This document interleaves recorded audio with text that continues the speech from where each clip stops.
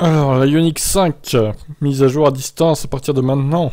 La Ioniq 5 est la première voiture de Hyundai à intégrer un dispositif de mise à jour à distance. Cette technologie pour l'heure limitée à la cartographie au système de faux divertissement et dont la mise en place exige une ultime mise à jour manuelle.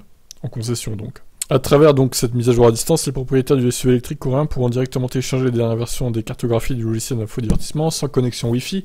Le téléchargement des données s'effectuera via la carte SIM installée dans le véhicule. Alors, est-ce que ce sera une connexion euh, gratuite à vie ou est-ce qu'il faudra payer au bout d'un moment Ça, c'est pas précisé. Pour rendre la Unix 5 compatible avec les mises à jour, il faudra auparavant que la version du système de faux divertissement soit mise à jour, version euh, 22.02.11 ou ultérieure. Pour ce faire, les clients auront deux solutions se rendre sur le site du constructeur, télécharger la dernière version et la transférer sur la voiture via une clé USB, ou aller directement en concession pour réaliser la manip. Une fois cette ultime étape réalisée, les mises à jour seront automatiques.